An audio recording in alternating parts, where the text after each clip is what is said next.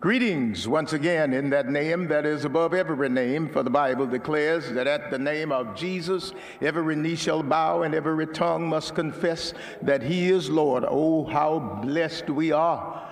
How wonderful it is to be in the house of the Lord one more time. Amen. In this very festival season. And uh, as they would say from the world, it's so the most wonderful time of the year, and how blessed we are. I am delighted to see all of you who have gathered together today to worship the Lord in spirit and in truth.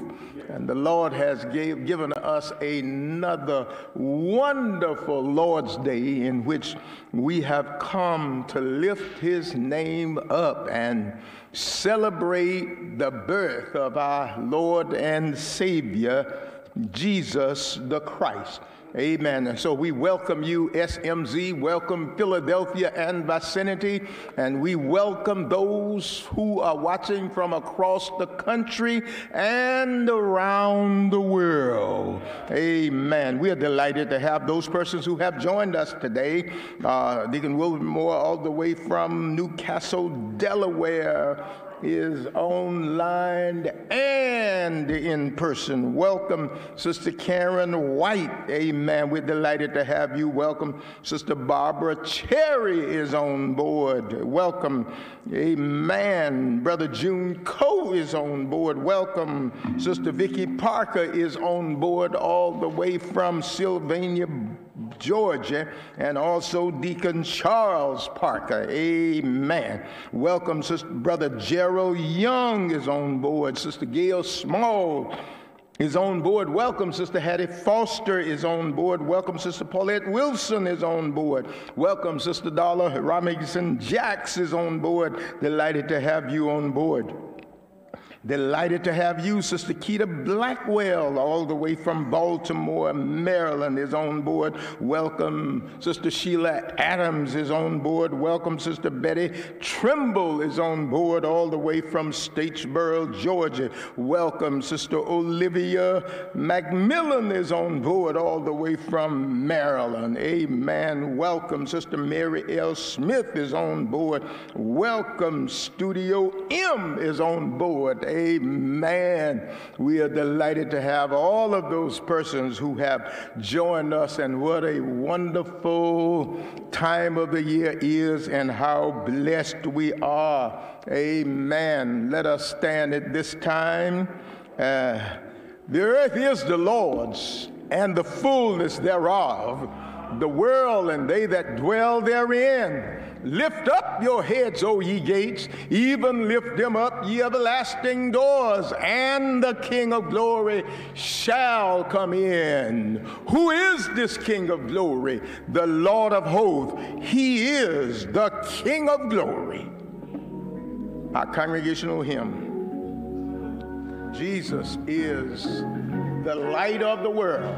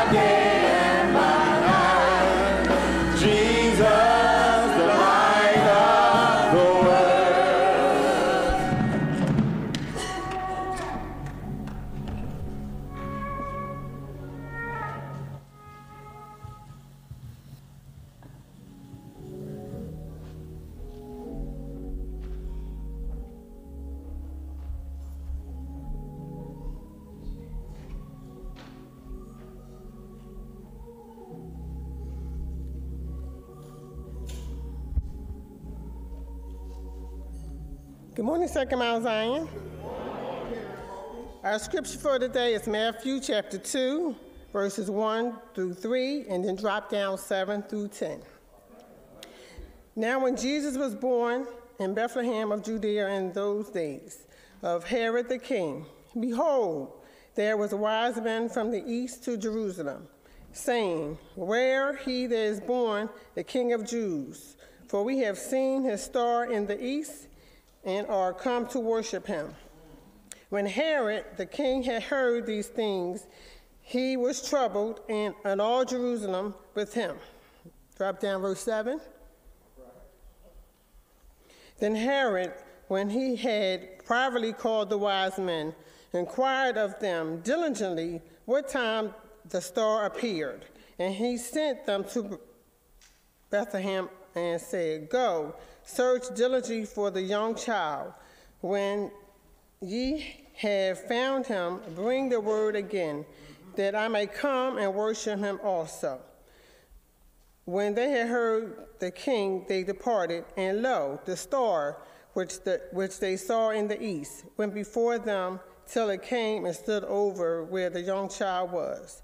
Verse 10 When they saw the star, they rejoiced with exceedingly great joy. The word of God.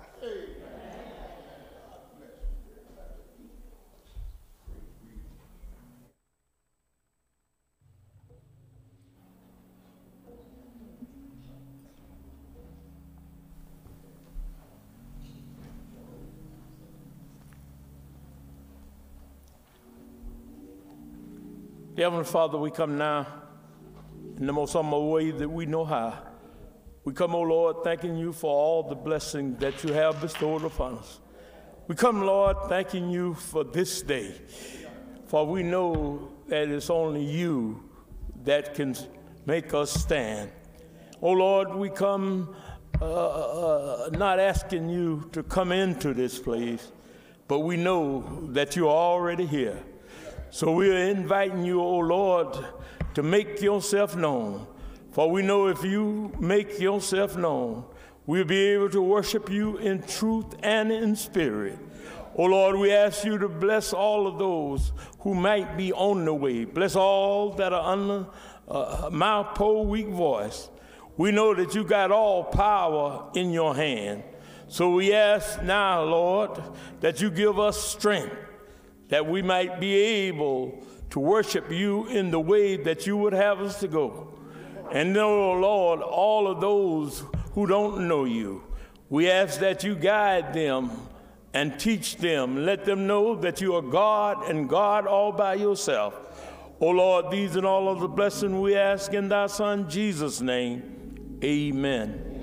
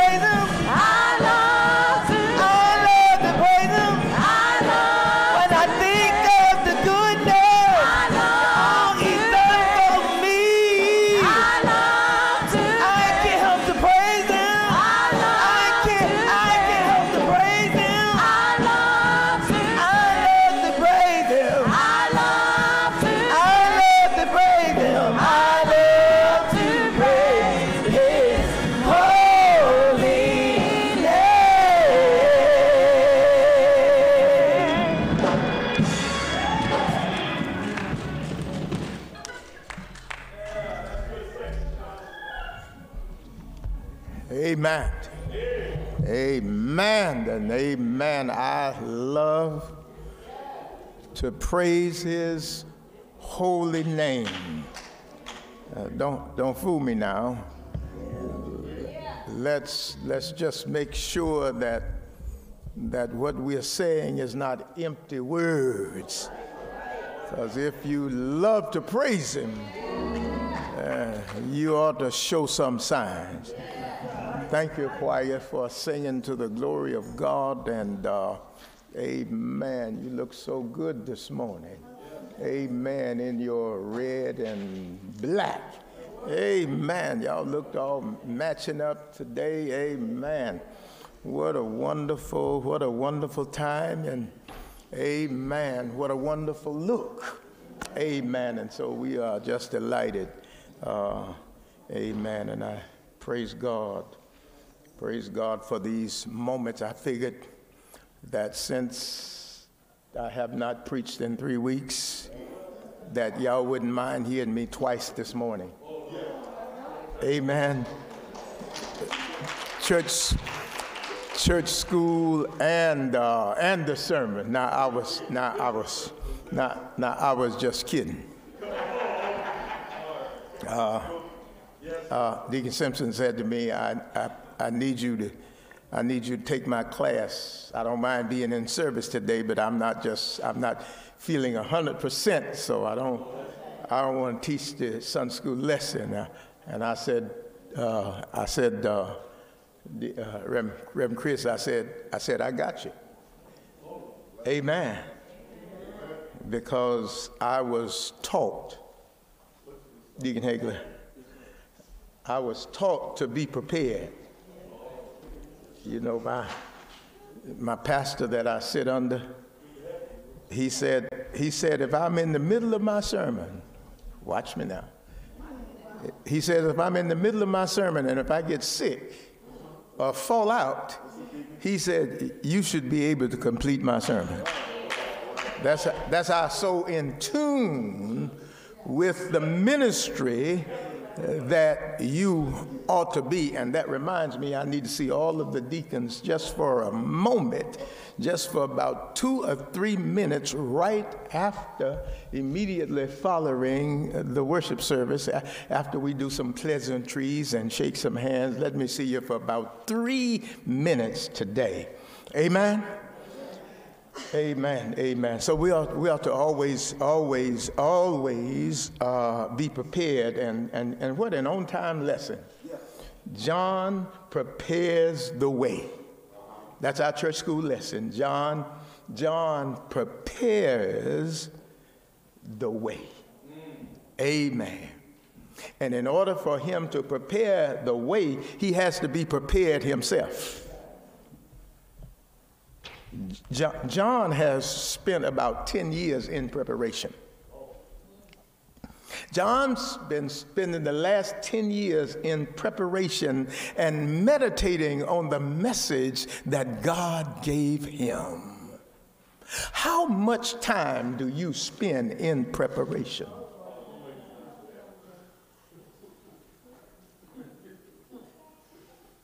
That's a rhetorical question. You don't have to answer it. Just do like Arsenio Hall say, hmm. you know, sometimes, sometimes I watch, I watch the people, Sister Alice Brooks, as they come in, and uh, you know, we in a Sister Borden, we in a new era, and we in a new kind of situation where, you know, you used to could come in any kind of way and any time and nobody not know it. But now if you do it, folk all over the world see how unorganized you are. And lackadaisical you are, and so they turn to somebody else who's more organized, and you know, and that's why I admired the choir this morning. They so uniform, and uh, uh, they look they look so good, and they they sound so good. Uh, you know, yeah, yeah. John, John prepares the way for Jesus Christ. And in order for you to give a message about Jesus Christ, you've got to be prepared yourself. John was prepared. And when you are prepared, you don't have to be intimidated or nervous about what you're about to do. It's all right to be nervous, but you ought to be so you ought to be so used to being prepared, and so you just used to being nervous until it looked like to other folk that nervousness don't bother you. Because I'm nervous right now. I'm, I'm just as nervous because I got to say some stuff. And uh, it's going to be kind of like John the Baptist. John the Baptist had to deliver an unpopular message. Did, did y'all hear me?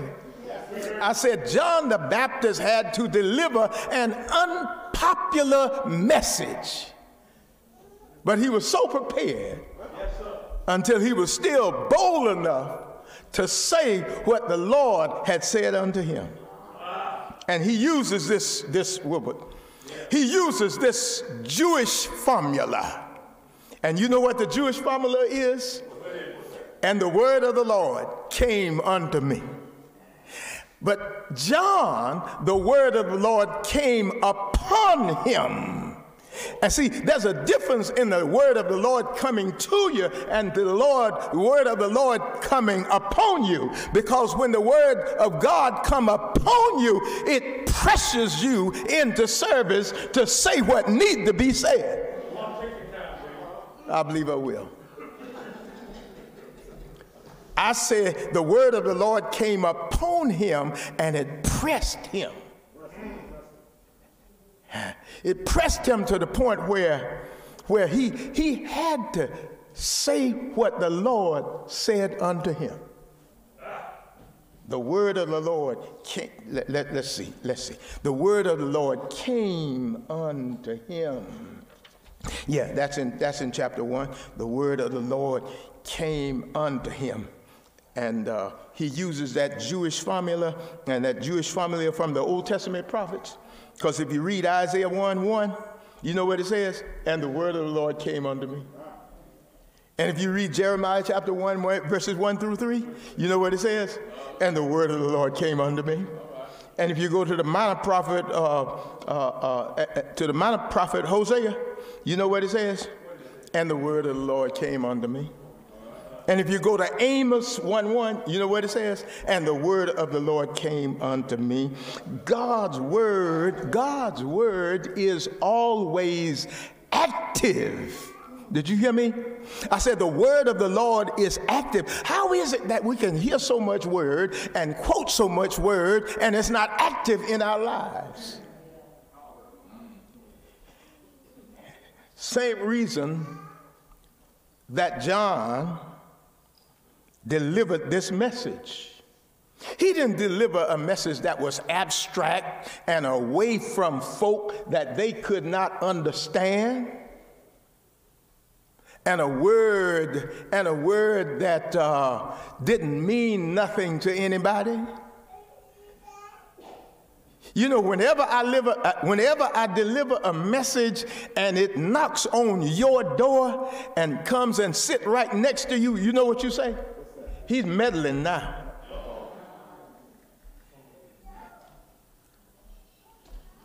He's talking about folk now. The word of the Lord was not just simply a vehicle of time and, tr- and truth, it was a word in and to specific human circumstances. If the word does not address your human circumstances, the word is no good.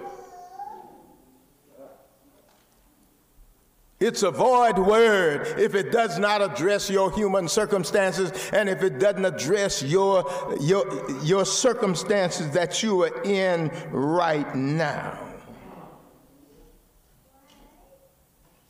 The circumstances, it was very dark very dark in Jerusalem. There had been no word from the Lord for 400 years. There has been 400 silent years, and John the Baptist comes on the scene with a message. And Luke, Luke, Luke, Luke, Luke is interested in that, uh, uh, uh, in, in not only in in the coming of John, because we saw that in the past couple of weeks, we saw John the Baptist coming, but Luke is also interested in the message the Word of God comes to bring. He's interested in the message of the word. And if you don't get the message of the word and just hear words, you're no different from the scribes and Pharisees who could quote the Bible from cover to cover but did not have the spirit of that word, and the spirit of that word did not affect their daily lives. And I stop by to ask somebody today, have the, have the word really affected your daily life? Well, let me just give you let me just give you the message of the word that John preached. The word of God came. John baptism was uh, and message was repentance of sin. And that's an, always an unpopular message repentance of sin. And you know what? John finally lost his life because of that kind of message? Most of us are not willing, willing to suffer for the Word of God. We would rather be comfortable and popular with other people rather than the God, rather, than the Word of God. And so John's baptism was a message of repentance of sin from, from the power of sin, deliverance from the power of sin. In other words, the power of sin broken in your life. In other words, when you've been delivered from sin, you just don't habitually do the things that you used to do. You, you, you know, you may still do them, but you don't do them as much as you used to. It's not a, it's not, it's no longer a habit. And so John was this, John had this unpopular message like, and, and, and John's, and let me just run ahead of myself and say, say that John's message is just as relevant today as it was in his day. Because all of us need to repent from something. But then some of us are like the scribes and Pharisees. I ain't got nothing to repent for. I ain't, I ain't do nothing. In other words, other folk ought to be repenting and not me. Because I done, I done did everything right and I've been, you know, you, you, you know, you know, I am, you know, I do good to other folk and I, I give and I give my charity. Amen. But salvation is not determined by your works. Let me say that again. Salvation is not determined by your works. And Luke concludes the Isaiah he concludes with the prophet Isaiah, and all, even though he was dealing with Jerusalem and Judea and about a 150 mile radius, but he's, he concludes with the prophet Isaiah and says, and all men should see God's salvation together. All means all. That's how come that's how come John the Baptist's message of repentance is just as relevant today because all flesh shall see it together.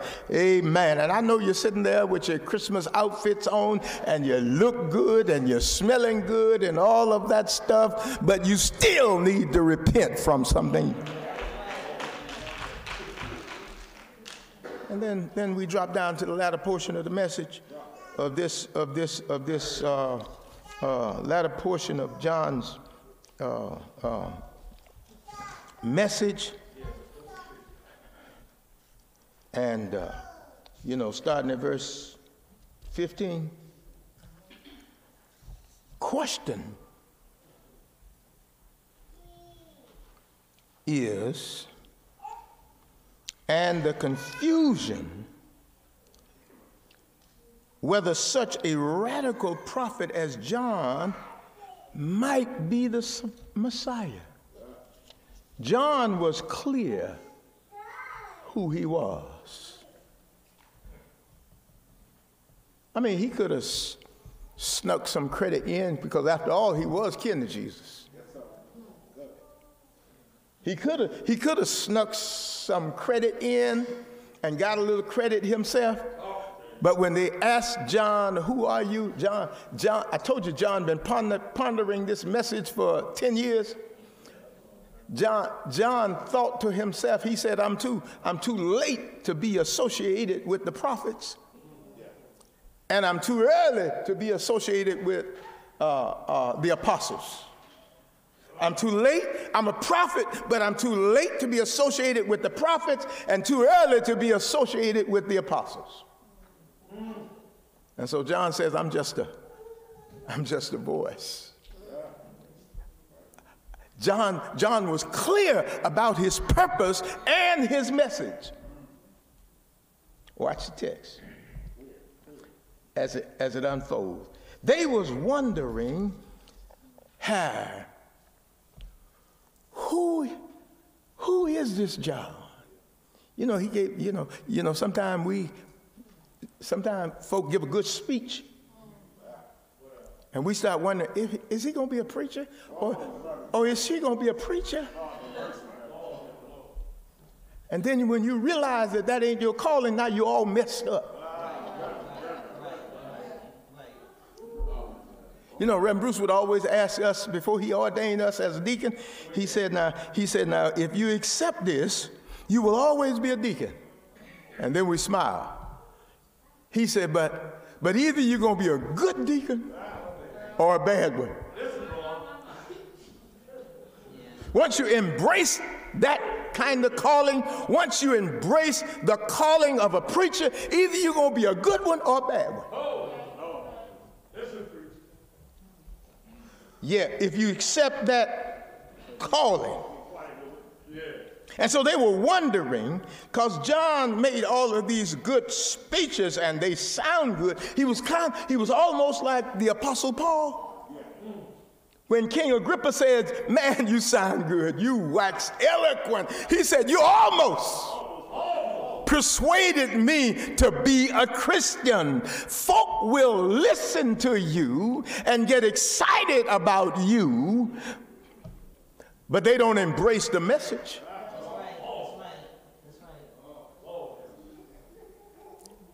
And you know that doesn't bother me. It concerns me, but it doesn't bother me because they got excited about Jesus' message. And he was the word. They got excited about him. And uh, they were amazed at his teaching. But there's nowhere where the scribes and Pharisees ever embraced his message. And Jesus had to say to his disciples, He said, Now I don't want you to be like them. He says, Except your righteousness exceed that of the scribes and Pharisees, you will in no wise enter into the kingdom of God because the scribes and Pharisees were still listening to John's message. John's message was only a message that dealt with the outside. That's right, that's right. The outside and the attitude. And John tells you plainly, I am not him. I am not the one. And they still wondering if John is the one. He tells you that I am not the one. Verse 15 says, And the people were in expectation of all men, amused in their hearts of John, whether he was the Christ or not.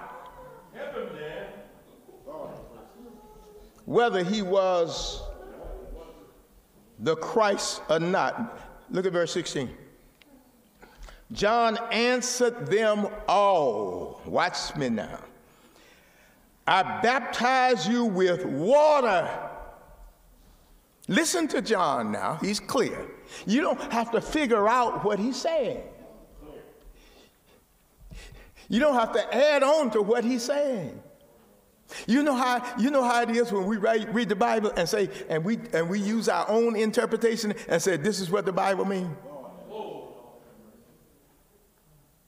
You know, Sunday school teachers of old, and they did a good job of getting us where we are. They used to read, they used to read a verse and then look at you and say, what you get out of that verse? No, no, it ain't about what you get out of it. It's what, it, what the word, verse means.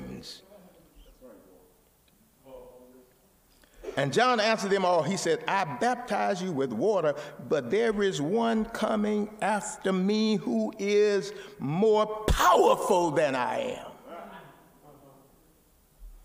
Because the word and the message that I have is repentance, turn around, but only Jesus can change you from the inside outside. I can deal with the outside, I can deal with your attitude, but I can't deal with your sin problem. Only the one that's coming behind me can deal with your sin problem. He is the one that has the power to do it. Yes, oh,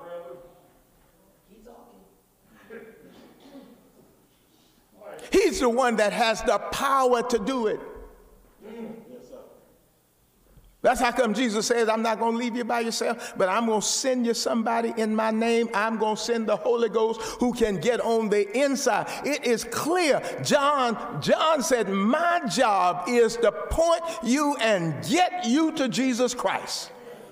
And once you get to Jesus Christ, He is the one that's more powerful than I am. And so He is the one that can, that can cleanse you from the inside to the outside. He is the one that is worthy of your reverence. And most of us, we are more afraid of each other than Jesus Christ. I am not the one that's worthy of your reverence. And I am, I am clear about that. I am clear because of the message that I have from the Lord. I am clear that it's going to upset some of y'all, depending upon what I'm talking about. John says, he is worthy of your reverence. He is the one that you ought to reverence. He is the one that you ought to be afraid of. But not only is he more powerful than I am, and not only is he more, he, he is worthy of reverence, he would baptize you with the Holy Ghost and fire. And now John gives a prediction of the Holy Ghost. Yeah, the coming of the Spirit. It is, it, it is to have the effect of fire. Did y'all hear me? I said the Holy, the Holy Ghost is to have the effect of fire. Yeah, yeah, let me see what else John says Yeah.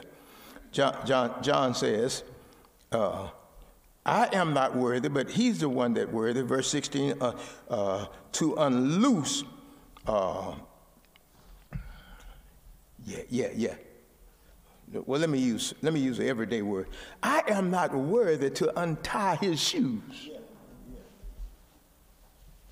He will baptize you with the Holy Ghost and fire. I am not the one.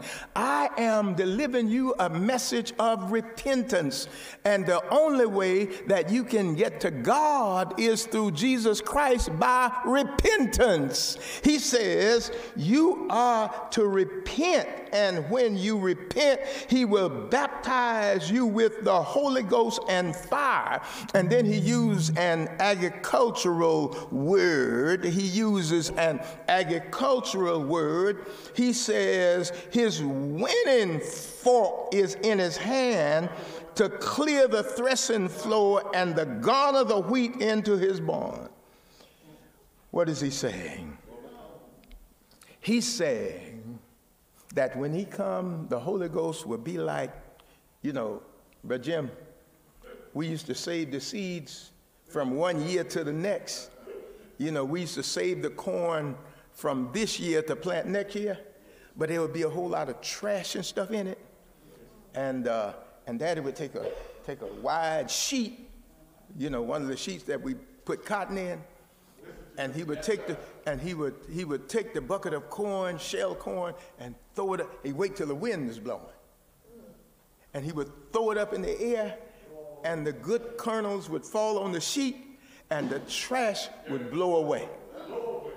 And so that's what John that, that's what John was saying here. He said he in his threshing floor, in his threshing floor, he would throw it up, the wheat up into the air, and the wheat would come down, and the wind would blow all the trash away. Yeah. And, and, and, he said that's what the Holy Ghost is like. That's what the effect of the fire is like. The fire is like purifying. It's like it, the fire, the Holy Ghost is active in saving us.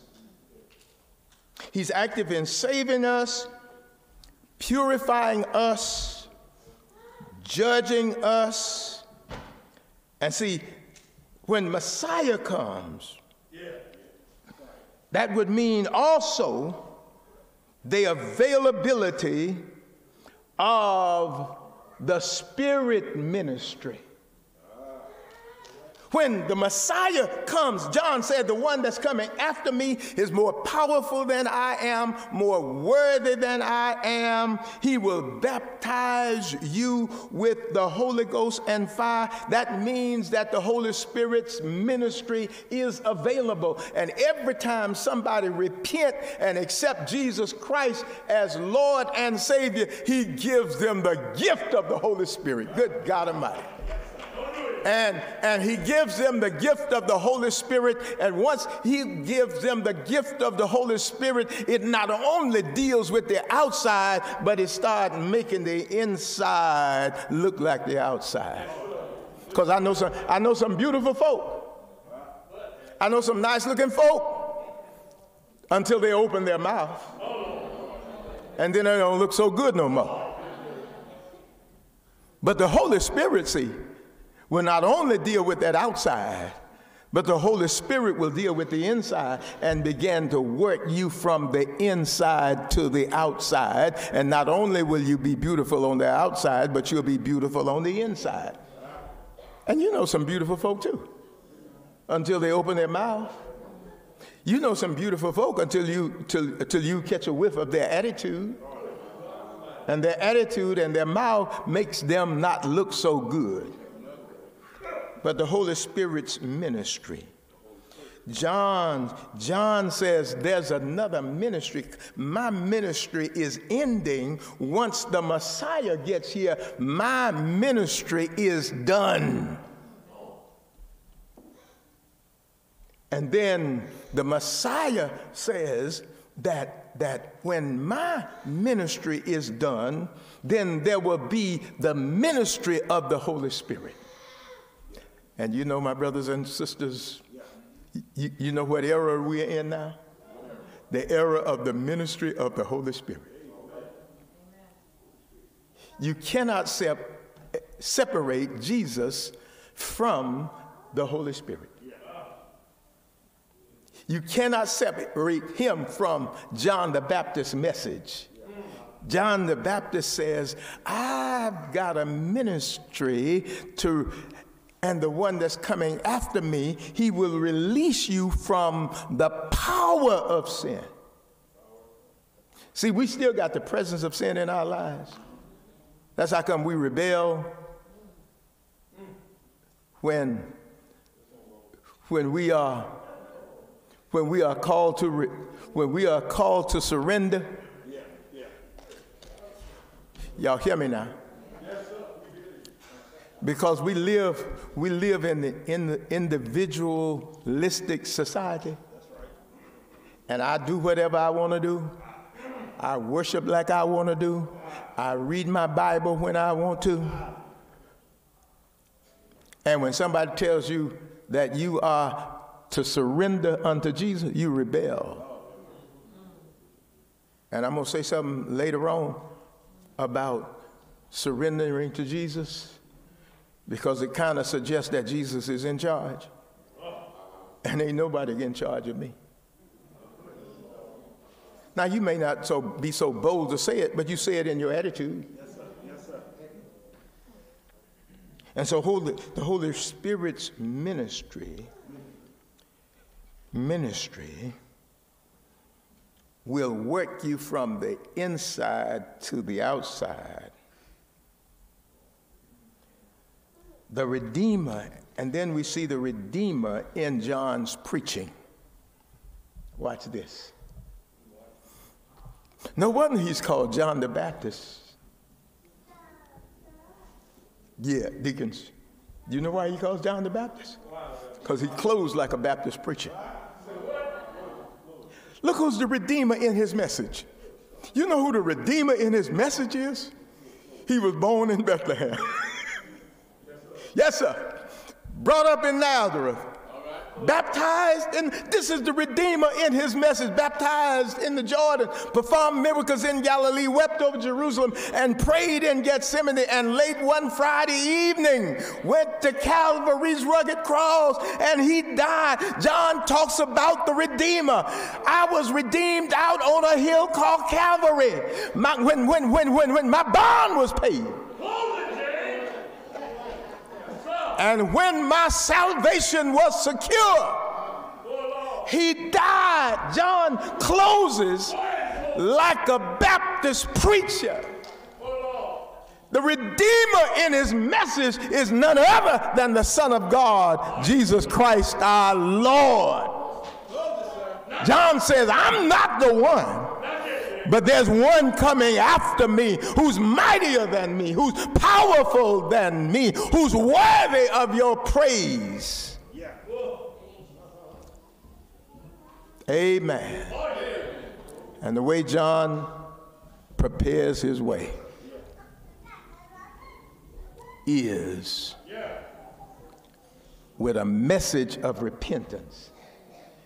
John's message is not complete if you only accept John's message, John's message is not complete.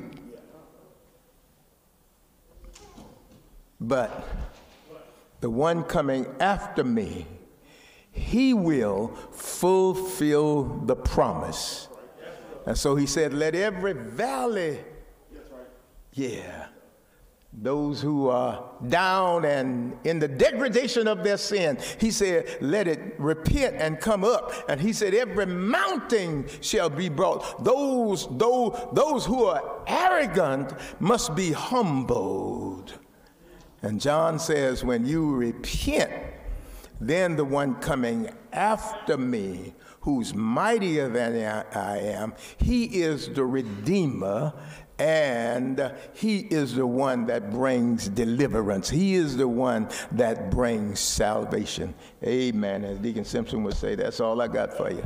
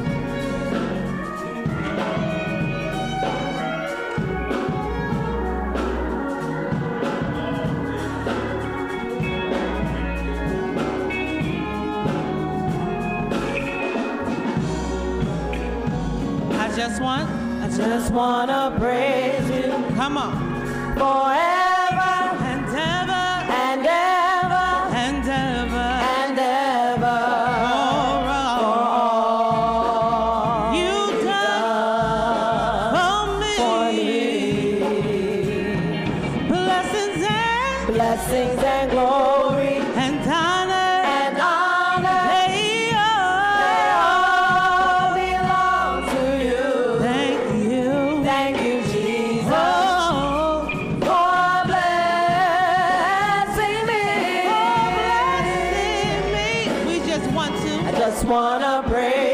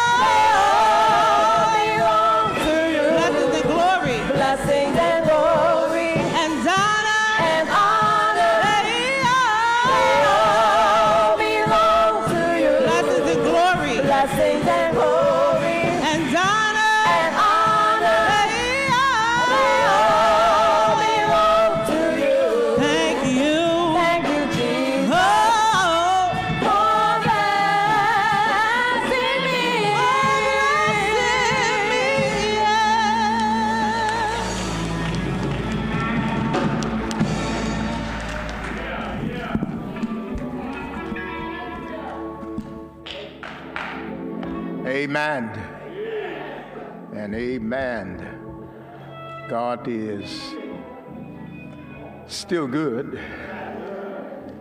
His mercy is everlasting, and His truth endureth to all generations. Uh, we greet you in that name that is above every name.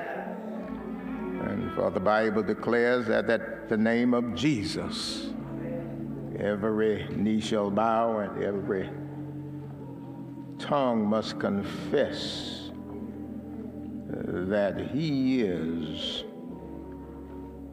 Lord.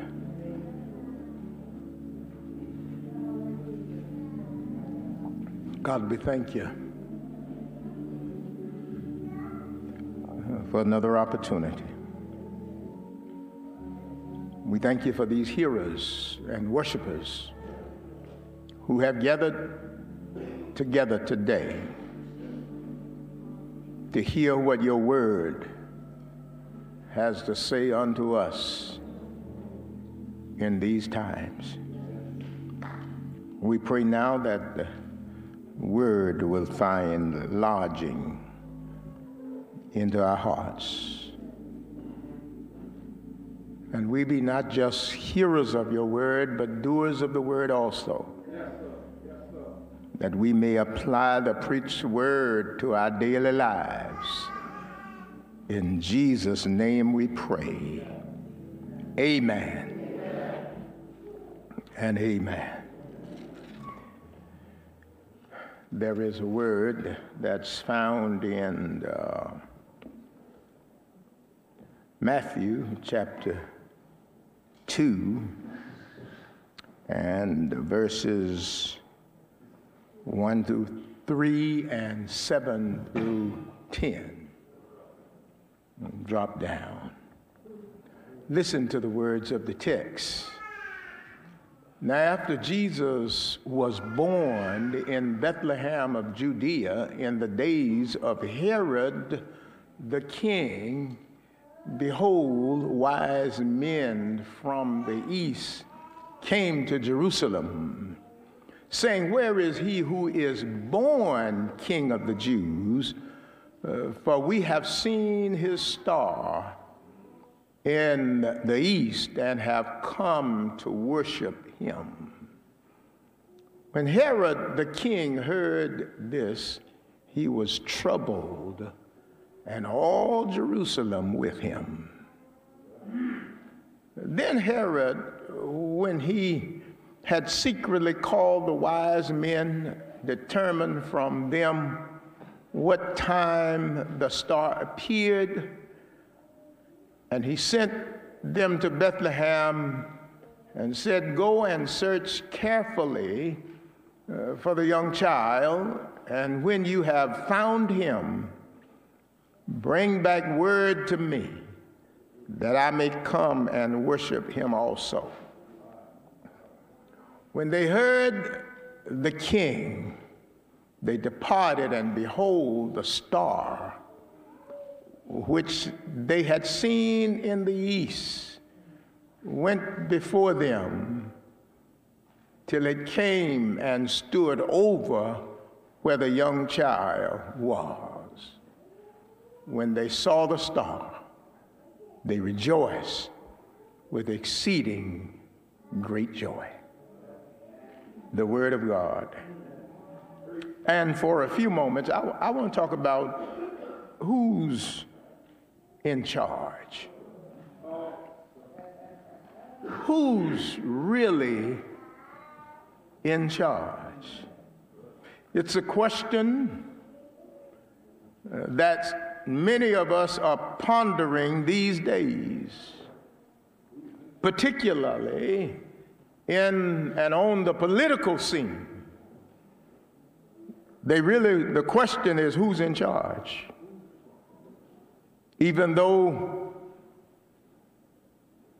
45 is no longer in office, it looks like he's still in charge a whole lot of folk still looks to him for instructions and directions. Even in the Commonwealth of Pennsylvania, they're fighting over who's in charge of the Congress because there were several Democrats who died which tilted the scale, looked like, to the Republicans. And so they want to know who's in charge. And everybody is trying to be in charge. In the year that Jesus was born, and Luke, Luke, Luke, Luke gives us a more detailed report of the political and religious scheme. Luke gives us the emperor who was in charge, he gives us the governor who was in charge, and he gives us the two high priests that was in charge. Annas and Caiaphas. They always call them together, almost like almost like the Republican Party now. Yeah, whoever's in charge, they still call somebody else's name who's really has the influence. Caiaphas was the high priest, but his father in law Annas was the power behind the throne. He was what we would call, Sister Diane, the 1% today. I don't care who's in charge, the 1% still hold the purse strings. Yeah, you remember when Mitt Romney was running and he exposed the 1%? He talked about the 1% who's still controlling the purse strings. And, and when we come down to the year of when Jesus was born, you got Caiaphas, it says Annas and Caiaphas, the influence and power behind the throne, and the one who occupying the seat. But Annas was still pulling the purse strings, and Herod, uh, the king, he had manipulated his way with Rome, with his crafty ideas, eh, with, with Rome, and, and was in charge. And, and since he was in charge, and a Jew, he knew the scripture. And so he was in a position that really didn't belong to him. And you know how come I know? Because he was an Edomite. He was the one, he was the one that fought against Jacob. Jacob and Esau, they were never on the same page, and Herod had manipulated himself to become king, and he was a tyrant. He killed one of his wives, two of his oldest sons, who, who, who, threatened, who threatened his throne. And, and that's why the text says that, that when Herod the king heard it in verse 2, 3, all of Jerusalem was troubled with him. Right now, almost all America are troubled because 45 wants to run again. And that troubles a whole lot of folk. And whenever, whenever the political began to control or the secular began to control the spiritual, you know you're, in, you know you're messed up.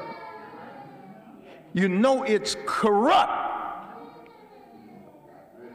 because there are those who say that they are the evangelical right. They will go along with anything he says. Whenever the secular began to control the spiritual, the world is in trouble. And now we don't know who's in, in charge.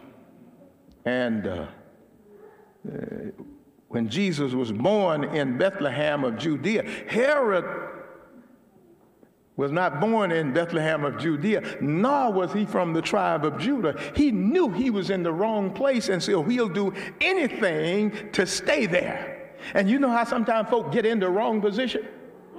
And they know they don't belong there. They know they are not worthy. But once they get in that position, it's hard to get them out.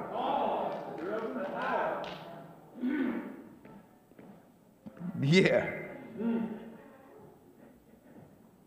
And so Jesus was born in Bethlehem of Judea. In those days, Herod, the king, behold, wise men came from the east, and they came to Jerusalem. And guess what they say? Where is he who's born king of the Jews? Here is somebody that was born king of the Jews. He, he did not inherit it from his family, he did not inherit it from his daddy, but Jesus was born king of the Jews. And Herod heard that, and, and they said, We have seen his star in the east and have come to worship him. In other words, we saw the light. We saw his light all the way in the east, and we've been following the light for two years. We see a whole lot of lights during this season.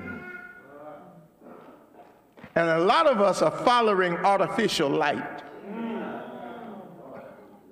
And if y'all doubt that, there are folk come from all over the world to come to Times Square to see them flip the switch in New York. And not only in New York, but right downtown, Philadelphia. Folk come from all around to see the light, but that's artificial light. Jesus says that I am the light of the world. And, it, and this time of the year, it ought to remind us of the light of the world. When we see all of the light all around us, and we put up lights in our houses, and lights around our houses, and light in our jobs, and on, on our, in our yard, it ought to remind us of who is the real light, the light of the world.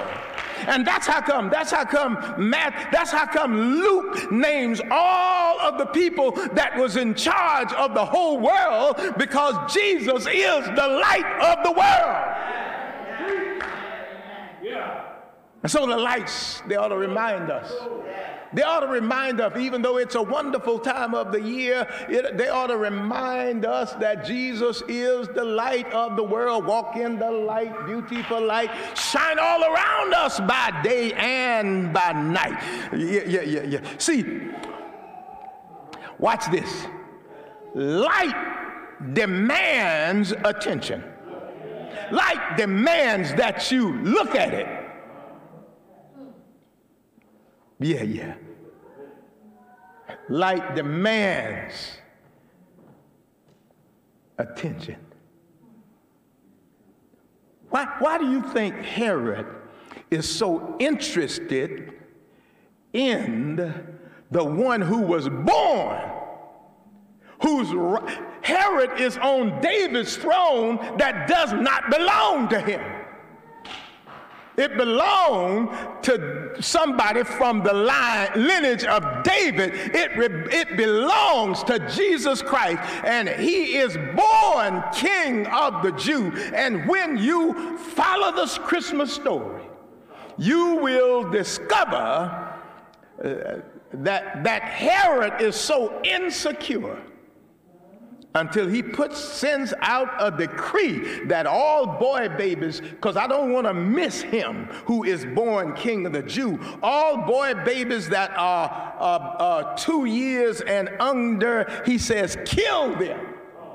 Because i don't need a ri- rivalry kingdom. Yeah. i don't need a rivalry king. I don't need even though a baby he's a baby.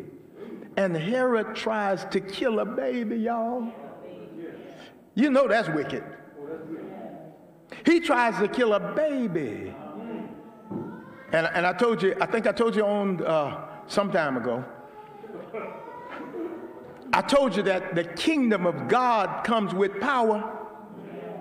Even this baby who is the center of God's kingdom, Herod has the entourage and the power of the throne, but he can't even kill a baby. He sends out a decree, and Jesus says, Jesus says, Jesus says, says to Herod, uh, Jesus says to Mary and Joseph, take the baby into Egypt among his people, folk who look like him, and he, he can't be discovered.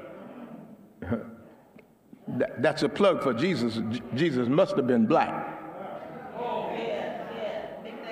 Because if he's among the Egyptians, which is really in Africa, maybe he's dark skinned.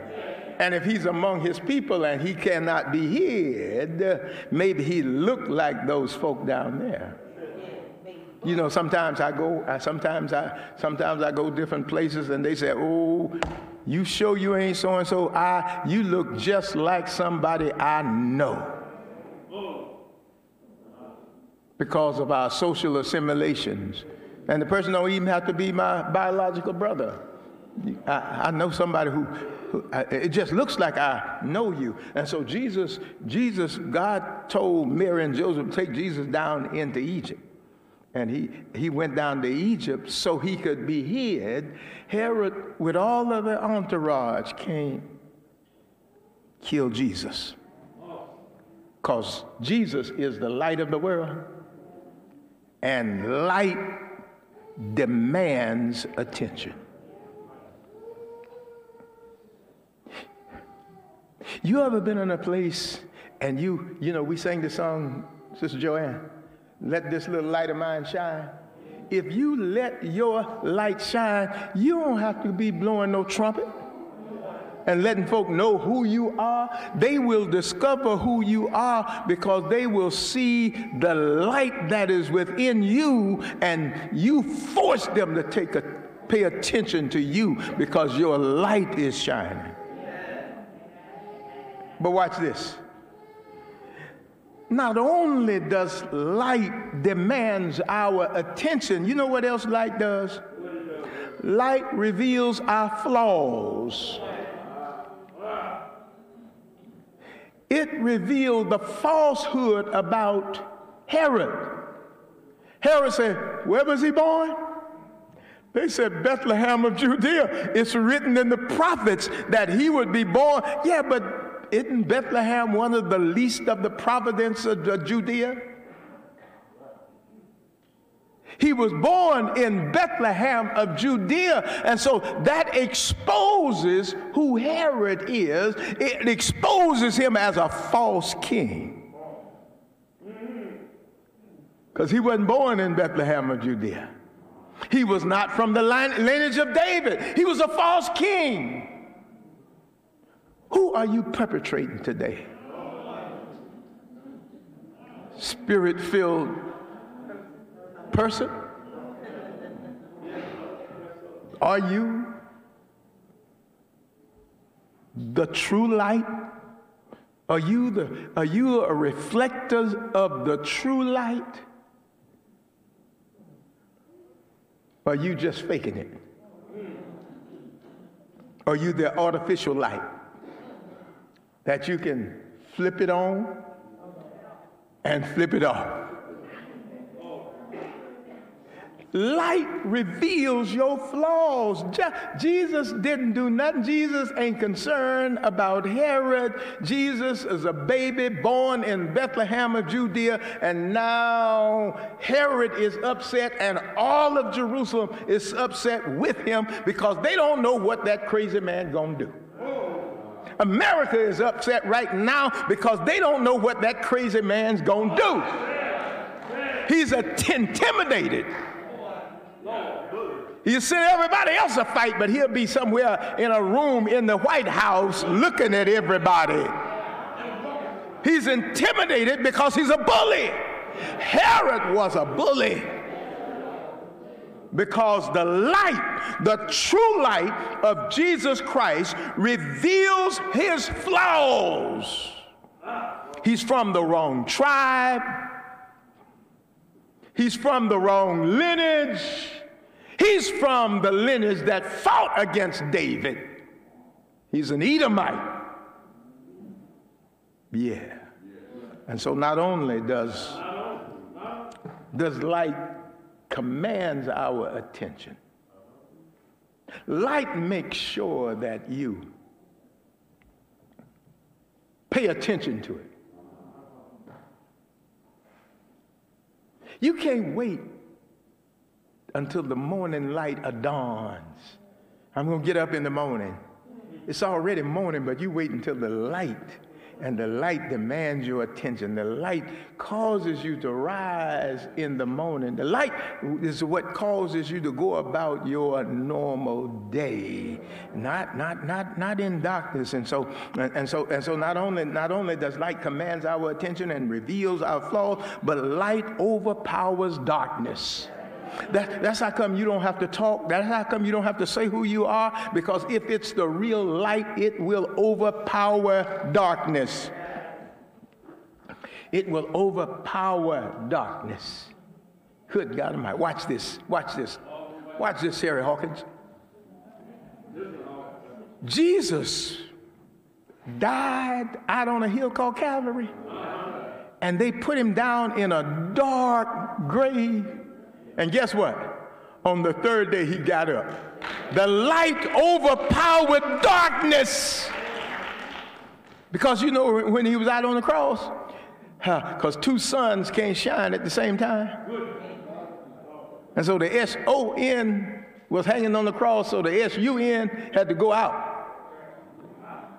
because he overpowers darkness. Light overpowers darkness. You can come in here at night and you can flip the switch, and this is just artificial light, and the darkness disappears. And since you since you ought to let your little light shine wherever you go, you, you, ought, to, you, you ought to distinguish the darkness just by your light. And then finally, light, light offers guidance. Guidance. Yeah. They've been following him. For two years, they've been following this light, this unusual light. I mean, they were, they, they, they were stargazers and, and astrologers who studied the stars but they saw an unusual light and they followed the light. And when they got to Jerusalem, they said, Where is he who is born king of the Jews? He's born king. He was not made king. He did not manipulate himself to be king, but he was born the king. And that upsets Herod because he see him as his rivalry. But light offers guidance. You know, Couture, Chanel, when you are training your kids to go to the bathroom by themselves, you put this little light in the plug, and so they can follow the light at night because they are guided by the light. And then when you get, and then when you get older, you use that light again. Because, because now you got, you, you got high blood pressure and sugar diabetes, Debbie, and you don't need to be stomping your toe.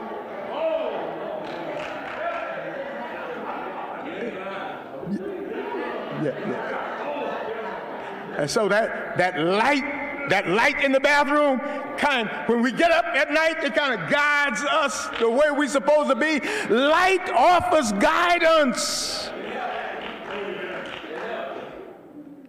yeah. and so the, these these wise men they've been following the light for almost two years They've been following the light of the world. They saw the light from the east, and we have come to worship him. And when they got to Jerusalem,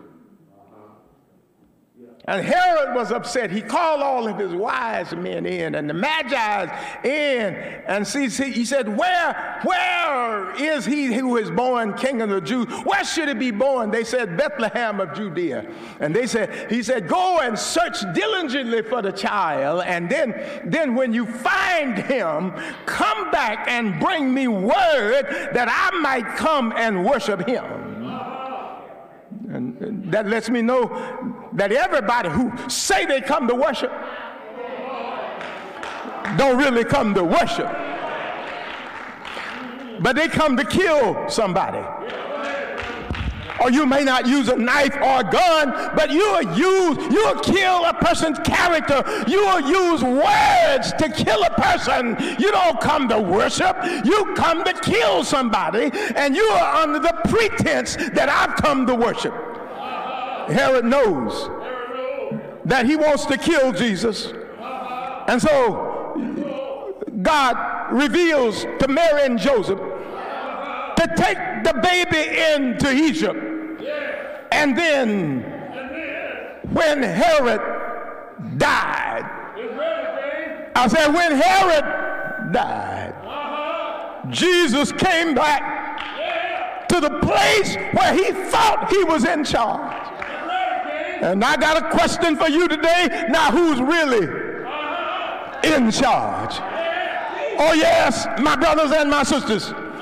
We've gone through a whole lot of stuff. And we've survived slavery. But I want to know who's in charge. The government thought that they was in charge with the Tuskegee men. But I tell you, black men are still here.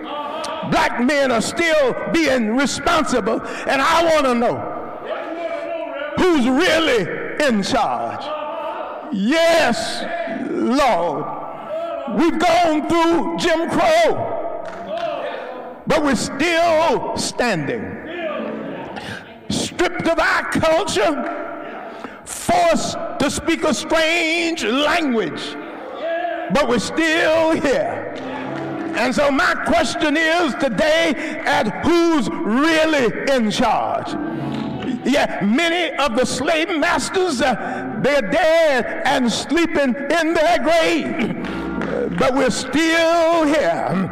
And I want to know who's really in charge. And I don't know about you, but I tell you, my brothers and my sisters, uh, I'm going to follow the light. I'm going to follow the light of Jesus uh, during this Christmas season. Uh, this little light of mine, I'm going to let it shine all around me. I'm going to let it shine all in my neighborhood. And I'm going to let it shine because can't nobody put the light out. And I am a reflector of the light of the world just like the moon reflects the light of the sun, and just like the stars reflect the lights of the sun, we are supposed to reflect the light of Jesus Christ. We ought to let this little light shine, and every now and then we might have to be in some darkness, but keep on letting your light shine. For I heard Jesus says, uh, you don't have to put your light uh, under a bushel, uh, but you ought to let it shine because somebody uh, right where you used to be, uh, they need to see your light. Uh, some drug addict need to see your light. some dope dealer need to see your light. some prostitute need to see your light. some grudging person, somebody that's holding grudges, uh, and some backbiter, uh, they need to see your light uh, and you ought to let your light shine. Uh, it's a wonderful uh, time of the year uh, to let your light shine. I don't know how you feel about it, but I'm going to let this little light of mine, I'm going to let it shine because I know who's in charge because I watched him when he was in charge out on a hill called Calvary. They tried to kill him, but they couldn't kill him because he was still in charge. Even he summons uh, the demon of death uh, to come up to the cross. And the demon of death uh, didn't want to mess with Jesus because Jesus was still in charge. And the reason that death knows that Jesus is in charge, he saw Lazarus the other day and Jesus said, Lazarus, Come forth. He's still in charge. Hey, hey, they pissed him in the side, but he's still in charge. They riveted him in his feet. They nailed nails in his hand, but he's still in charge. They put a crown of thorn on his head, but he's still in charge. And when, when, when, when my bond had been paid, yes, Lord, he was still in charge. And when my imprisonment had been terminated, he was still in charge. And when, when he delivered me from my sins, he was still in charge. But he said, I got to fulfill the scripture. And so I got to die. Come on, death, and, and take me so I can die. But death said, I can't mess with you because light overpowers darkness uh, and you've got the power. But Jesus said uh, that I got to mess with you. Reached down to the foot of the cross, uh, took the demon of death, drew him up to the cross, and sucked all of the fiery venom out of death so he could die. And then I heard, yes, I heard, I heard Paul said, Oh, death was swallowed up in victory. And when he swallowed death, uh, they took him down off the cross. Uh, they put him six foot down in the earth uh, where it was real dark. They sealed the tomb. It was real dark. But I tell you that, that the light overpowers darkness. He stepped up on resurrection morning, and said, I got all power. Oh, power, power in my hand. Hey, hey, light overpowers darkness. I'm going to follow the light. I'm going to follow him because one of these old days I might have to lay down in a cold, dark grave. But I'm going to follow him in resurrection. When Gabriel sound the judgment trumpet, I'm going to get up out of them old dusty graves and my feet will strike the narrow inclines of God's unclouded glory. And then I'm going on home. I'm going on home. I'm going to sit down with the Father and chat with the Son and tell him about the well that I just come from. But he'll still be in charge. Hey, hey, is he in charge of your life? You ought to let him lead you from earth to glory. He will lead you one way. He'll lead you you out of no way. Is there anybody here who's willing to follow the light?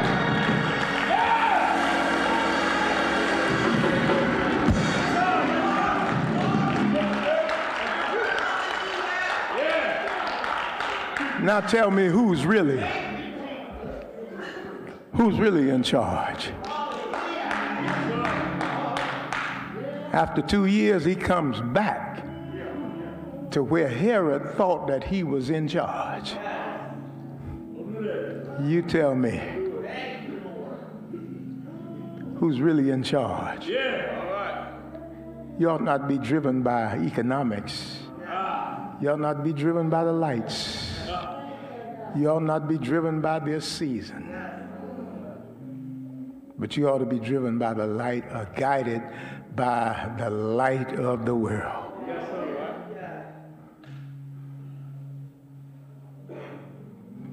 See, the only reason that Christmas and Easter is separated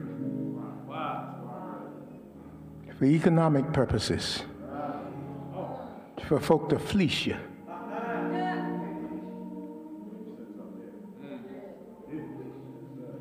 Christmas and Easter is two sides of the same coin. Because he was born to die.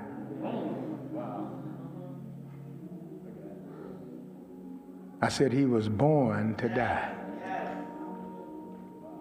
But in spite of his death, he's still in charge. Because he is the light of the world. And you and we are reflectors of the light. Just like the moon and the stars reflect the light of the sun, we are to reflect the light of Jesus Christ everywhere we go.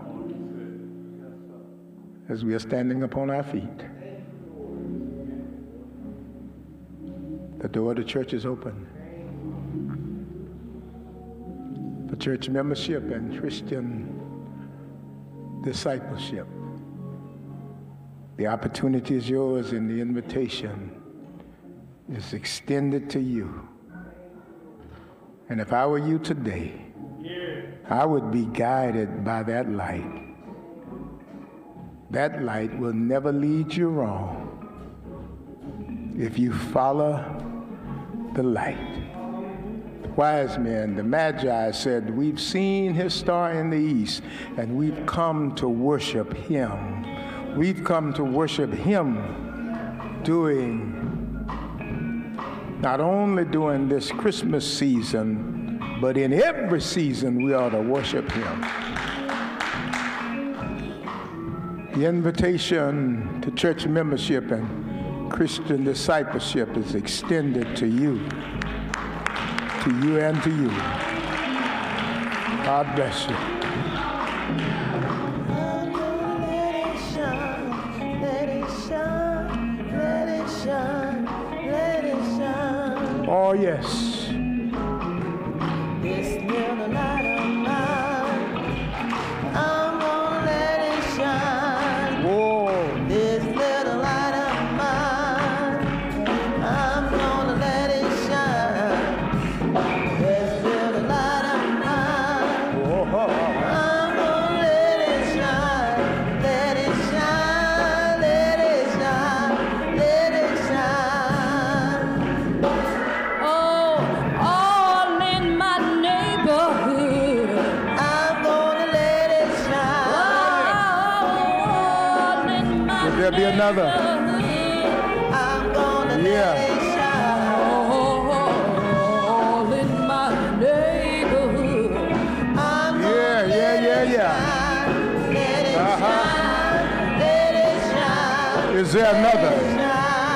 Would you come? Give me your hand in fellowship. Guard your heart and classroom.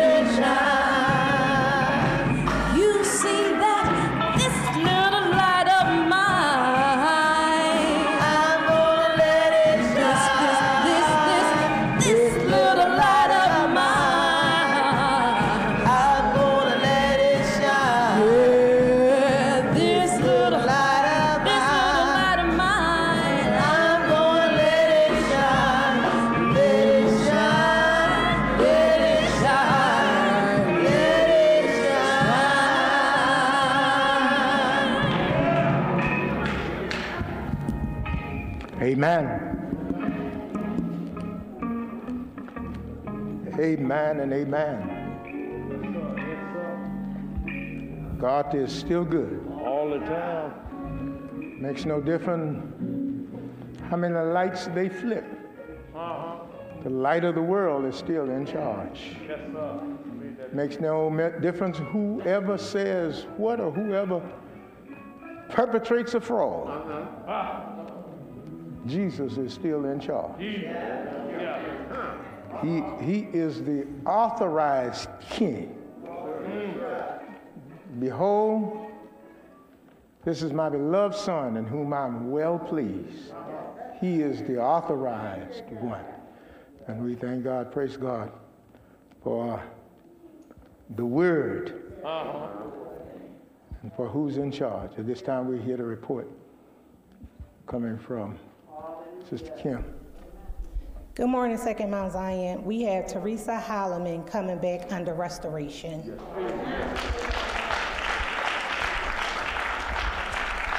Amen. Let church say amen. amen. Let's say it again. Say it one more time. We are delighted that you have decided to come back for restoration and how blessed we are. As Pastor, I give you the right hand of welcome to welcome you back into the fold. Amen. We are so delighted to have you. Thank you. Amen. So at this time, uh, you will see Sister Cheryl, and she'll give you further instructions. Amen. Let the church say amen. Let the church say amen. Let the church say amen.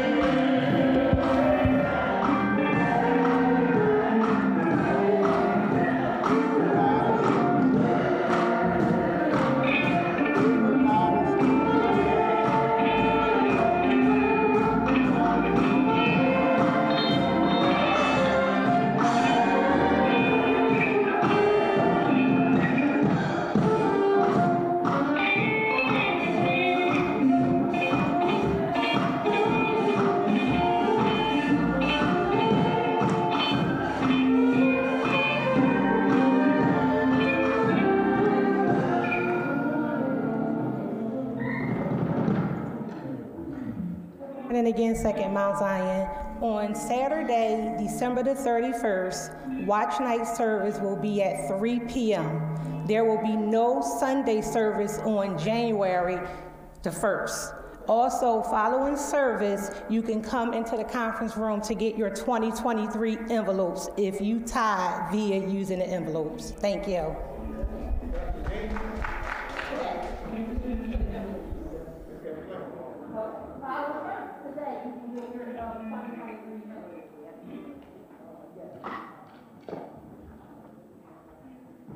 Amen. It's tithing and giving time.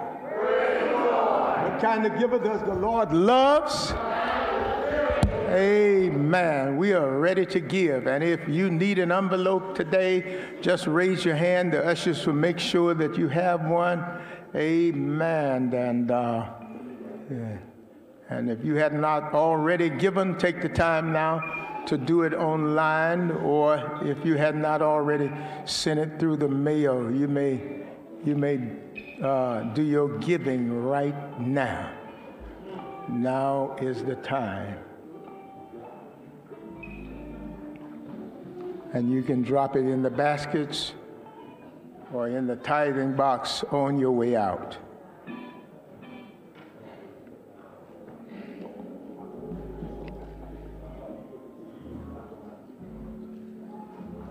Tell me when was Jesus born?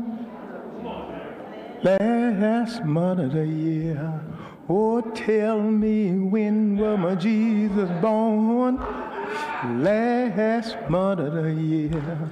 We got January, mm, February, March, April, May, June, July, August, September, October, November. It was last month of the year. Oh, tell me when was my Jesus born? Last month of the year. And that's it.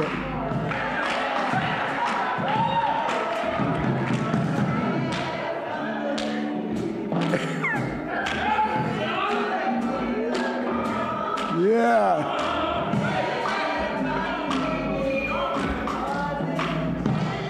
No, no,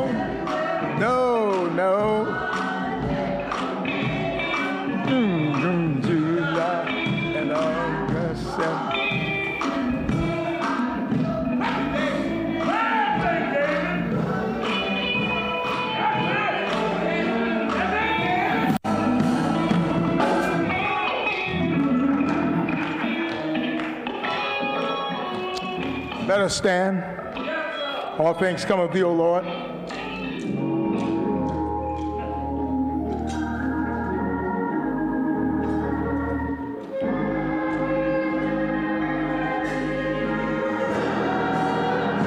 And of thine own have we given thee.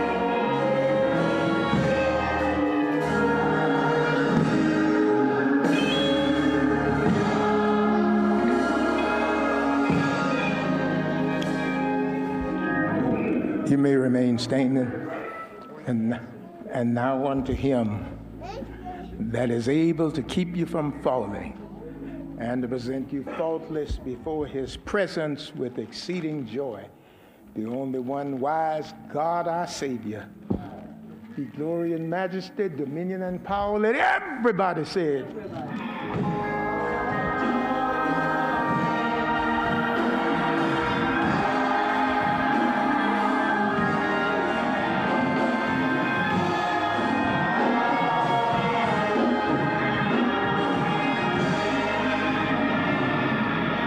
in peace and serve the Lord.